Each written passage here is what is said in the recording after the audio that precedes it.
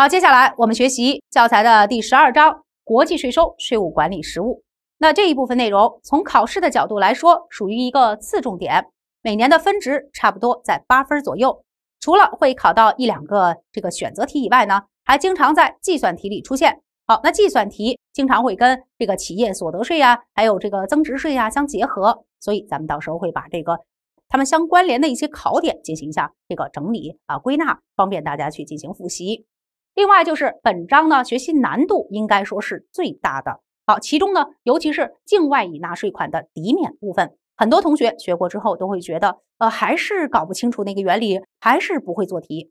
好，确实这部分难度在这儿摆着啊，在大学里可能要学一学期才能学的事儿。好，咱们在这儿呢，要花几个小时给它全面系统的全部都给讲出来，其实是不太现实的啊，是 mission impossible 哈，是不可能完成的任务。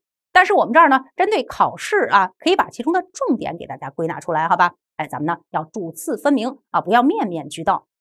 这是关于本章的一个这个考试的分值以及它的学习的特点。那接下来我们就看一看它的内容结构吧。好，这块呢，国际税收里边，咱们首先说到了一个概念，就是国际税收协定啊。什么叫协定？这协定到底是呃有一些什么样的条款呀？等等，咱们做一个了解。另外就是非居民企业的税收管理。好，这个是相对可以出到大题的这个部分。好，说到的是非居民，比如说那些在中国有机构场所的呀，或者是在中国连机构场所都没有的那些个呃境外的纳税人。哈，哎，他们在中国哎产生了一些应税行为，应该怎么去纳税的问题，这块就会跟增值税呀，哎，企业所得税什么的相结合啊。好，接着就是境外所得的税收管理，哎，尤其是我们说的那个境外已纳税款的抵免这块呢。本来是跟企业所得税有关联的，但是我们在企业所得税里没讲，专门放到这儿啊这个专题里来说的。好，还有一些像国际反避税呀，哎，什么转让定价的税务管理呀，以及国际税收征管合作呀，好，那里边其实内容也挺多的。你说它不考题吗？也有可能啊，有可能，但是大多数情况都是考到选择题啊，所以。基于我们这国际税收这个呃信息量的一个巨大的这个现实，好，那我们不能面面俱到，所以呢，我们会有选择的来挑一些老师认为可能考试的几率会比较高的内容来进行讲解，好吧？那其他的内容就是大家课下有兴趣自己去看一下好了。好，那通过我们的这个框架，大家会发现，哎，其实这个国际税收里边最核心的部分还应该是计算。好，咱们要把这个计算的问题重点把握，因为会考到计算题的嘛，是吧？这个点其实是比较好预测的，而至于选择题的考点啊，那就太随机了啊。任何一个地方其实对于我们来说几乎都是盲区哈。那每一个点其实都可以拿出来那么几个关键词考你选择的啊。所以那些点呢，咱们不可能也没必要去全部百分百的去给它覆盖，去全部给它这个掌握啊。所以也是哎，选择着根据自己的实际情况来好了。那如果你的复习时间有限，那你一定要放到这个重中之重上，把它搞清楚。好，那如果你还有余力，你再去看看边边角角，好吧？好，这是国际税收的框架。然后接下来咱们进入到这个正式的内容，来看一看第一节国际税收协定。那首先，什么叫做国际税收协定啊？咱们来看一看概念。说这个国际税收协定也叫国际税收条约，是指两个或者两个以上的主权国家或者地区，为了协调相互间在处理跨国纳税人征税事务以及其他有关方面的税收关系。本着对等原则，经由政府谈判所签订的一种书面协议或者是条约。好，你比如说咱们中国和新加坡政府，好，咱们就可以坐下来谈一谈哈，哎，看看咱们之间涉及到我们的这个居民是吧？哎，他互相在对方的国度里边可能有一些业务哈，那应该怎么去征税呀？咱们考虑考虑怎么样避免重复征税呀，是吧？哎，那这个如果出现了这样的这个管辖权的呃确认问题，咱们应该怎么样去协调？怎么样去处理？哈？哎，那这些事儿，其实咱们最后就可以签一个协定出来，那就叫国际税收协定。那这个国际税收协定其实就是我们国际税法的渊源。说到国际税法，其实就是由一个一个的这种协定啊，这种安排来构成的。好，接着来看一看国际税收协定的范本，啊，也就是模板。啊，就是国际税收协定在签的时候，咱不能说从头到尾给它原创一个啊，所有东西都是原创的，不现实。因为已经有比较成熟的这个模板在这儿放着了，那我们可以直接上来对某些条款做一些修修改改啊，就可以用了。那在这儿，国际税收协定的范本有两个啊，有一个联合国范本，也叫 UN 范本，还有一个经合组织范本，也叫 OECD 范本。那这两个范本，咱们要了解一下它们的各自特色，好吧？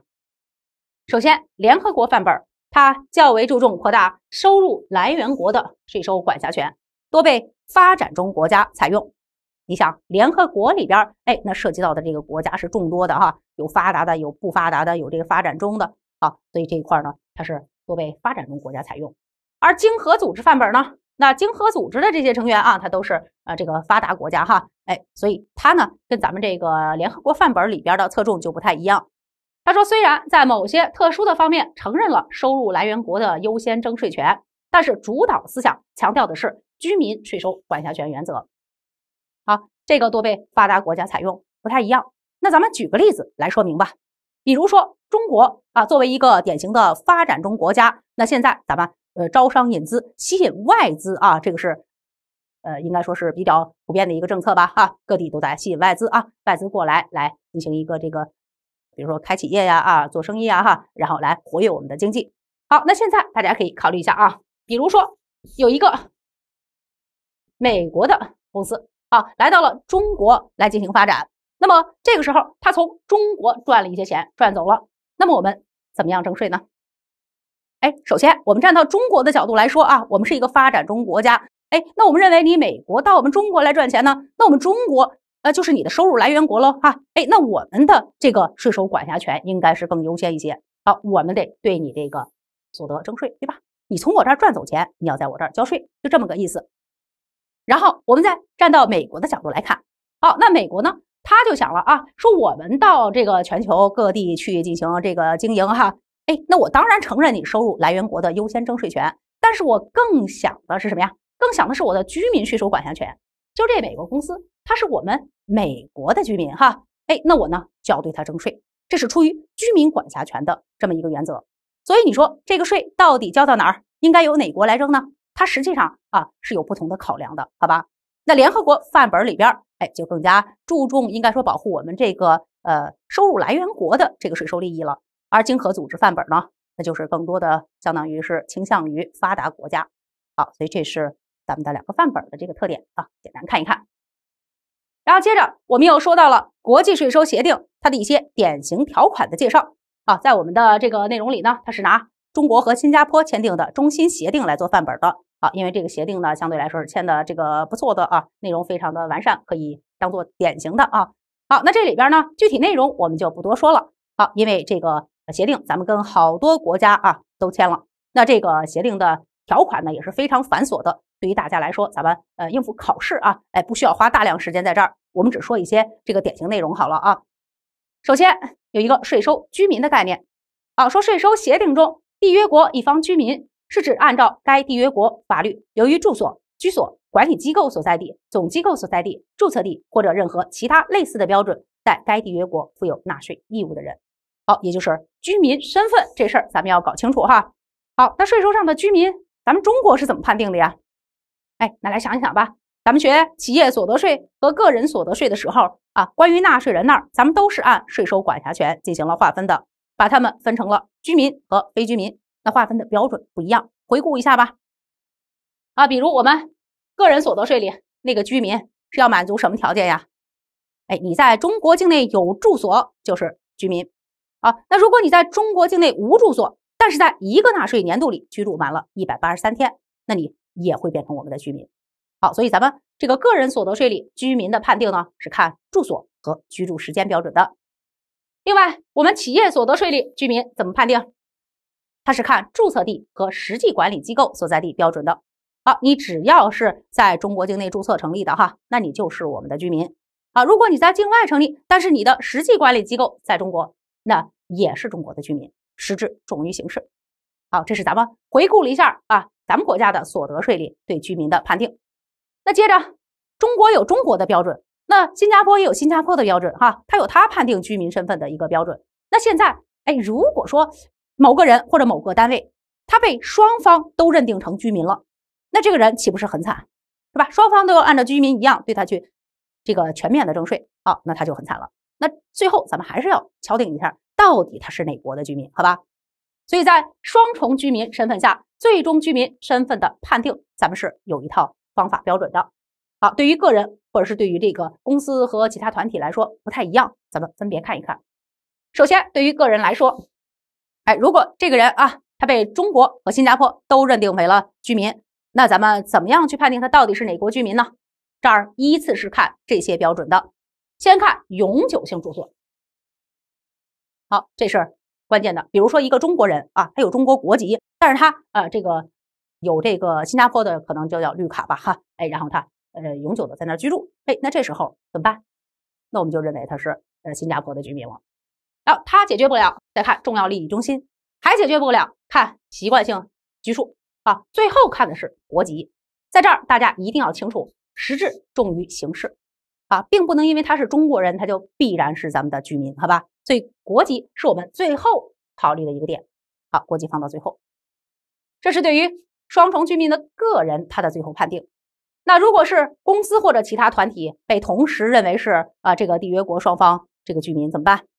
哎，那我们最终就敲定他是实际管理机构所在国的居民。哎，可能他注册在中国哈，但实际管理机构在新加坡。那最后我们中心协定里就说了，那他就是新加坡的居民。好，这么来判定。哎，总的原则都是实质重于形式。好，来看一个题目吧，一个单选题，说下列关于双重居民身份下最终居民身份判定标准的排序中，正确的是哪个？啊，稍微浏览一下，看最后就知道了。我们说了，国籍是最不重要的，是吧？这个是形式，咱们是最不看重的，所以国籍肯定放到最后啊。那 A 就是正确的，永久性住所、重要利益中心、习惯性居住、国籍。好，那接着看完了那个点，我们再看下一个关于国际税收协定管理里边的呃一些问题啊，在这儿呢，我们要介绍一个概念出来，叫做受益所有人啊。什么叫受益所有人？它是指所得或者所得据以产生的权利或者财产具有所有权或者支配权的人。好，也就是真正那个受益的人，能够享受收益的人，好吧？好，那什么时候我们需要进行这个受益所有人的判定啊？哎，这儿强调了。说在申请享受我国对外签署的税收协定中对股息、利息和特许权使用费等条款的税收待遇时，那缔约国居民需要向税务机关提供资料进行受益所有人的认定。好，举一个例子啊，这些文字呢其实看起来是这个比较绕的哈，哎，我们举例子就非常简单了，比如说中国和新加坡签订了税收协定哈。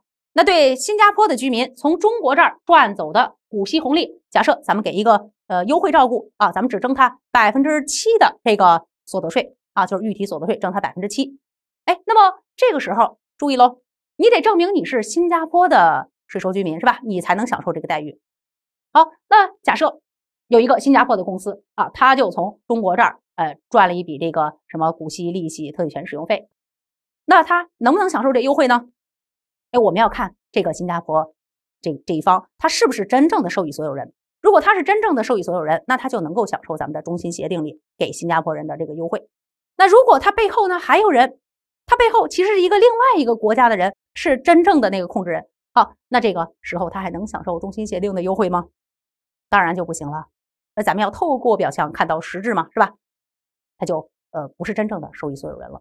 所以这儿咱们要进行一下受益所有人的认定。啊，认定呢，这个优惠我们得给到该给的人头上。好，道理想通了哈。接着在这里头还有关于受益所有人的一些判定的不利因素啊，还有一些情形我们直接判定他就是受益所有人的。好，这些个情形咱们简单的看一看，梳理一下啊。我会举一些例子，大家能够听明白就行。像这些点呢，都是可以出选择题的点，但是如果你确实没有精力啊，那这块呢你也可以忽略，好吧？好，咱们来看一看啊。说下列因素不利于对申请人受益所有人身份的判定，也就是说呀，你不是真正的受益人，你的背后还有别人，那个人才是这个幕后大佬，你是被操控的木偶，好吧？好，那来看一看吧。比如，申请人有义务在收到所得的十二个月内，将所得的百分之五十以上支付给第三国或地区的居民。啊，这个新加坡公司从中国赚了钱，哈。但是他留不下，他得给别人。那十二个月内要把百分之五十以上给别人，那背后的那个人才是真正的受益所有人呀，他就不是了啊。或者申请人从事的经营业务不构成实质性经营，啊，这个新加坡公司啊，它根本就是一个皮包公司，就是一个壳哈，那也不行，背后肯定有人。另外，缔约对方国家地区对有关所得不征税或者免税，不征税，但是实际税率极低，那这样的地区的这个纳税人呢，那通常就是壳了啊。好，然后在利息据以产生和支付的贷款合同之外，存在债权人与第三人之间在数额、利率或签订时间等方面相近的其他贷款或存款合同。好，比如说这个新加坡的公司从某国啊，他贷来一笔款，然后呢，他在这个贷给中国，从中国这儿赚利息啊，那你想想，是不是中国付给新加坡公司利息？哎，新加坡公司还得再给人家上边这个某国的公司啊？哦，那实际上这个新加坡公司它也不是真正的受益人嘛，是不是？也是背后有人嘛？好，那当然，以此类推，好，特许权使用费这儿也有这种可能性。某国的公司把这特许权啊授权给新加坡公司，新加坡公司再授权给中国公司，然后这个钱呢也是一层层的往上付。那其实。真正的受益人就不是新加坡公司，而是他背后的那个公司了。那你说这时候新加坡这公司还能够享受到我们的税收优惠吗？享受中心协定里给新加坡的居民的优惠吗？哎，就享受不了了吗？好，所以说这些情形啊存在的话，那都会影响我们对申请人受益所有人身份的判定。大概率的，他根本就不是真正的受益所有人，背后有人。好，接着再来看一看。哎，有一些情形呢，咱就不用去猜测，不用去怀疑了，直接判定申请人他就是这个受益所有人好了。好，若下列申请人从中国取得的所得为股息时，可以不根据上述规定因素进行综合分析，直接判定申请人具有受益所有人身份。好，比如说啊，是缔约对方政府，哎，说是新加坡政府，他投资于中国的甲企业，从甲企业取得了这个股息。那这时候你还怀疑政府吗？不用怀疑，那当然给人家这个中心协定里的优惠税率了哈，给优惠待遇。好，再有就是缔约对方居民且在缔约对方上市的公司。好，这个新加坡企业呀，哎，是一个这个在新加坡注册的，并且还是一上市公司，那信誉肯定很好，肯定有什么实质经营啊，因为上市就不容易嘛，所以我们信得过他啊。或者他是缔约对方的居民个人。就是一个新加坡人，好，是个新加坡人，那咱们就给他这个受益所有人的这个待遇就好了。好，这是直接判定有身份的情形。当然，他这儿说取得的所得得是股息时啊，股息时。那接着又说第四条，申请人被第一至三项中的一人或者多人直接或间接持有百分百的股份，且间接持有股份情形下，中间层为中国居民或者是缔约对方居民。好，也就是说呀。有可能啊，它这个中间还经历了很多层啊，并不是说这一个新加坡的公司直接持有咱们这个呃中国公司的股权来赚到股息的啊，它是被这个第一至三项中的很多人来控制。比如说，新加坡的政府下边有一个企业啊，然后这个企业又投资了这个呃中国企业，然后从中国企业赚走钱。那你说这个时候，这个新加坡企业啊，他从中国这儿赚走股息红利啊，他算不算受益所有人呀？那当然算喽，因为他背后的人就是新加坡政府嘛，对吧？哎，或者他的背后是新加坡的上市公司，是新加坡人，那么这时候我们都可以给他优惠，没问题，没问题。好，因为无论如何，他都是能够享受到这个优待的，哪怕是新加坡政府直接从我们这儿赚这个股息，他也是能享受中心协定的优惠的，所以。政府再通过这个企业再投资咱们啊，那这个新加坡的企业我们也直接给受益所有人待遇，他不会占咱便宜，咱是把这个优惠真正给到了能享受优惠的那一家。好，这是关于身份判定的问题。另外注意一下，代理人或指定收款人等，他们不属于受益所有人，因为他们只是帮忙的嘛，他们肯定不是真正的那个受益所有人啊。好，这是关于受益所有人的概念，了解一下。然后接着再来看，说非居民享受税收协定待遇的这个税务管理。哎，你说你要享受中心协定里咱们给新加坡的优惠啊，比如说正常情形，哎，咱中国呢要给外国啊支付这股息红利是要呃预提百分之十的这个所得税的哈。那现在我们中心协定假设给了百分之七，哎，那我就按百分之七好了。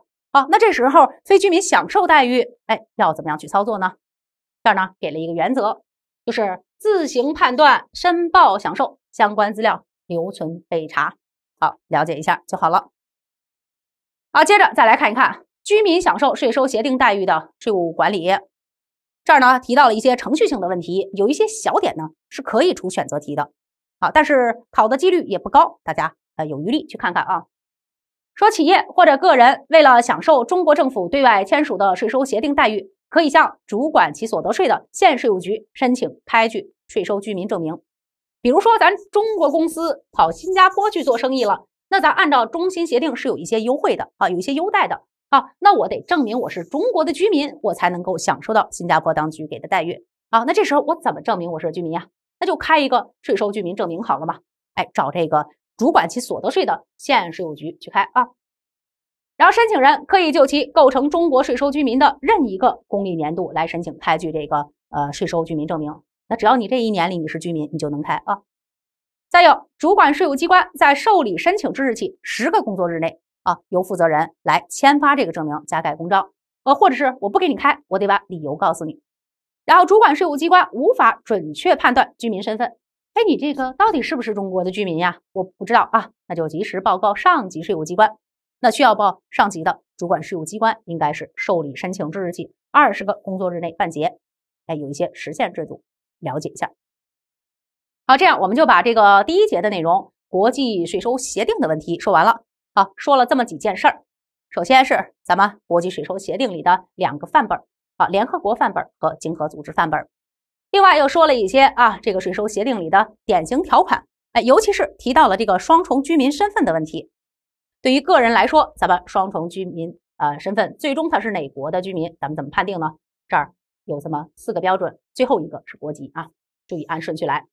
而法人呢，咱们是看实际管理机构啊，它就是实际管理机构所在国的居民。好了，啊，接着又说到了一些管理的内容，比如说受益所有人，好，受益所有人是什么样的人哈？什么时候判定对他不利？哎，什么时候我就不用怀疑啊，直接给他判定为受益所有人了。另外，非居民享受协定的待遇啊，它是怎么样的？自行判断，呃，申报享受相关资料留存备查好了。另外，咱们居民要享受协定的待遇啊，那去开一个税收居民证明吧。哎，找谁去开啊？然后呃，什么时候开？什么时限开完啊？等等，这个都简单的了解一下。总体来说，第一节里没有什么太多的考点。啊，可能经常涉及到考核的就是双重居民身份的时候，咱们最终确认他是哪国的居民啊？这个判定的原则。